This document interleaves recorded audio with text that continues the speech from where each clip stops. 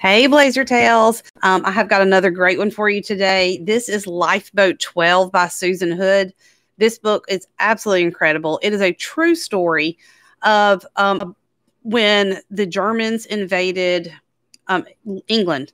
And this book is so amazing. This book is the main character is Kenneth, and Kenneth lives in a home with his mother. I mean, his father. His mother has passed away, so he has a stepmother and he has a younger sister.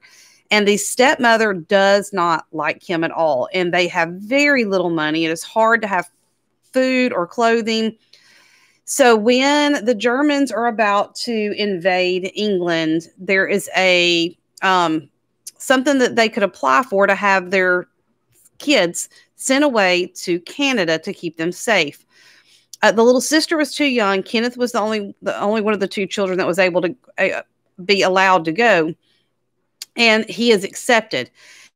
And at first, he's not really happy, but he is excited to get away from his stepmom. So they ship him off. They put him on a uh, he he can't tell anybody for like a month that he is one of the ones that got accepted. So when they they put him on the train to go. He sees one of his really good friends named Terry. So he's kind of excited now that he has a friend going with him. They get to the boat ship, this huge ship, uh, like a cruise liner, and he they are so excited. Um, the men who work on the ship, you know, call them sir, and they're like they've never been called sir before. They think they're living quarters are extravagant. They can eat all the food that they want. And this is coming from, they barely had scraps to eat. So they are in hog heaven on this ship. They think this is going to be great and wonderful.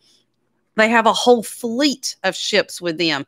And they have um, ships to protect them in case the Germans try to do anything to them they are hundreds and hundreds of miles away and then they're left on their own because they think they're far enough away that they're safe but they're not and in the middle of the night one night um, one of the german ships torpedoes their ship and the ship starts going down now they have been trained every single day that they've been on the ship how to get into the life uh, the uh, yeah the lifeboats and how to get to safety and Kenneth knew that his lifeboat was lifeboat eight, and that's the one he had to get on.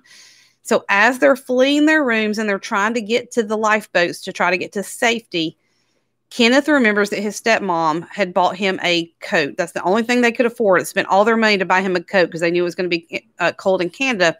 And she made it very clear that he had to come back with that coat when it, the war was over and he came back. So as he's running away, he realizes he because it was in the middle of the night, he does not have his coat. So he runs back to his room to get his coat. And by the time he gets on deck, lifeboat 8 is gone. And he doesn't know what to do. He finally finds lifeboat 12 and he gets in lifeboat 12 and they drop the lifeboat into the water right before the ship, the whole ship sinks. There are let's see, to start off, when they were on, first set sail, there were 46 boys and 44 girls that were sent to Canada.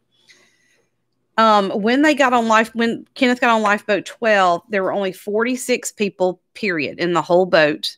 He doesn't, they don't know who has been saved, who has died. There are a mix of adult and children on this boat.